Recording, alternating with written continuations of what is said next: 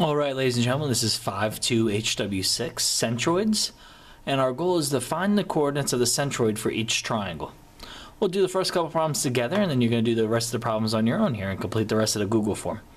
Now, I provided an extra copy, a hard copy during class, or I provided on the Google Classroom where you could print out the PDF, and you could draw the lines yourself on a piece of paper and submit your answer that way via the Google form. Or you could just try highlighting the lines right on your computer screen. So number one, what we have here, we have a triangle, XVW or WXV. And what we're going to do, we're trying to find a centroid. So what we do, we take a line, I'm going to make them all orange, and I'm going to draw a line going from that vertice or vertex of x. I'm going to go straight down and I'm going to break apart VW perfectly in half. That's a median, like we've been discussing in class. We're going to put three medians in a triangle.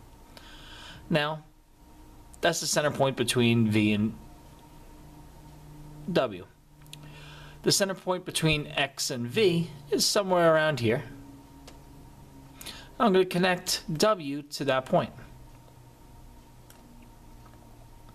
Now, this is all still estimates because I'm eyeballing things here. And in between X and W, looks around there is the halfway point. So I'm going to connect that halfway point to V. Where all three of these medians meet is right here. Three to the left, two down.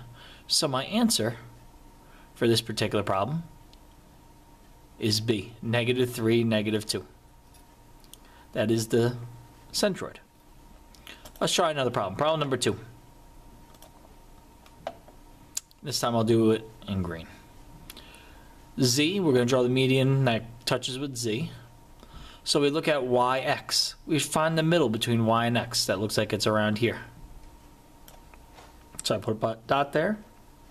And then I connect z to that dot. And that's my median. That goes with the z. We do the same story for x. So we look between y and z. Somewhere in between, that looks like around here's halfway in between. So we connect that dot with the x.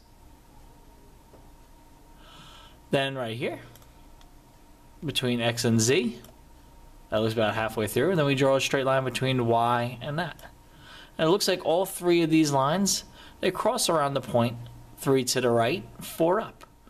So our answer would be three, four for number two.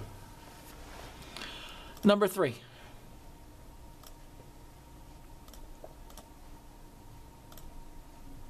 Let's do them in orange again. So halfway between P and R looks like it's around here. So PR to Q, that's my one median. P to around here. QR is my other median, a median. And then R to around there is also the middle between Q and P. Is that point right there. So it looks like the median, or the centroid in this one, is 2 to the right, 0 up, down. So the answer is 2, 0. So number 3 is A. Let's try number 4. The median that goes with G looks around, that's around the middle point between F and E, so I'm going to draw a line between those two.